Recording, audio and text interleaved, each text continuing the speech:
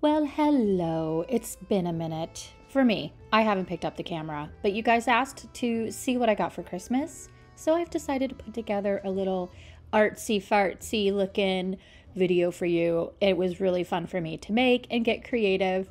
So, starting off with the Lush body wash, it smells so amazing. And then you guys saw these already, but I just wanted to show them again because they're just so cute and I did break them out before New Year's Eve. I just had to. They're so the the towels are just so soft.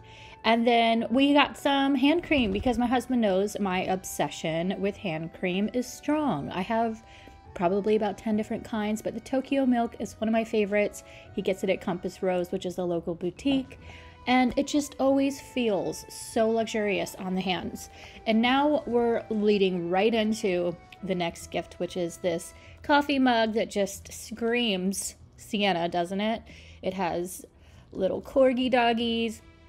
I think that's a Yorkie. There's a Chihuahua on the other side. So, you know, just, you know, my thing. Doggies. Look, that's the new guy. I call him the new guy. That's Hugo. He's with us for the week. And now we're going to get changed into the next phase of this, which is all clothing. Michael Kors hat and scarf set and I actually picked this out. So it wasn't a surprise. I knew I was getting it, but I wanted it so bad, and it's so soft and cozy. And then this actually went with the Tokyo Milk hand cream. This is the fragrance that matches it, and it smells so good and stays on all day. It's pretty crazy.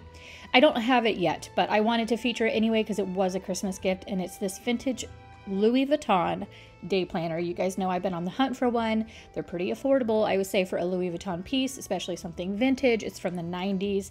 I can't wait for it to get here. I also got a gift certificate for a new tattoo. I'm so stoked. I'm either going to do something around my neck, which I want to finish the lotus, or something maybe on my leg. Now I'm uh, basically going to show you all of my new dog walking attire, which is this cool pullover sweater and then Sorel hiking boots. I have needed boots for walking in the rain or just colder weather, and I honestly didn't have any. I've only had sneakers. So these were actually a really practical gift and something I really needed. So I'm excited about them. And now we have some dog walking gloves so that I can still use my phone. They're fingerless and I can carry my coffee and take photos because that's always been my problem with my current gloves is they don't have the fingers come off like this and that makes them super functional. But if I want to cover up my phalanges, I totally can. And they're magnetic so it holds the cover open, which is really clever. Look at Hugo. He's only wearing a belly band just in case, but he's been actually pretty good.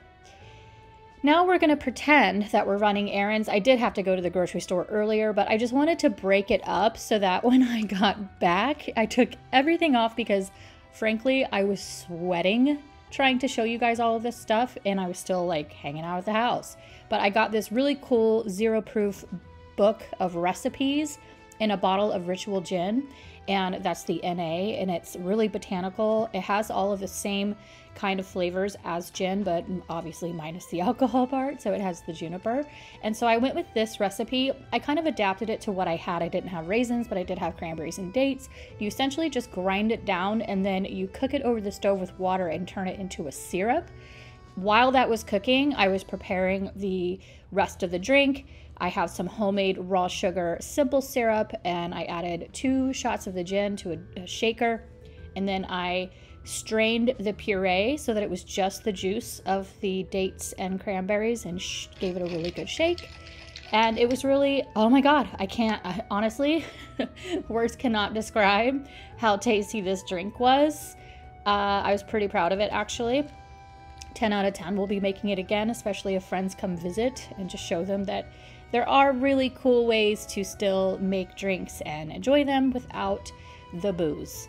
And then the final gift, which is this game called Monster Hunter. It was actually just in my stocking because it's not a very expensive game and it's not new, but it was fun. So that is it. I hope you had a lovely time and had a good holiday season, whatever you celebrate, and Happy New Year to all of you. I will be seeing you guys in the coming week. And here's my new end screen for all of my videos now. This is the new one. Anyway, okay, bye. Forevermore.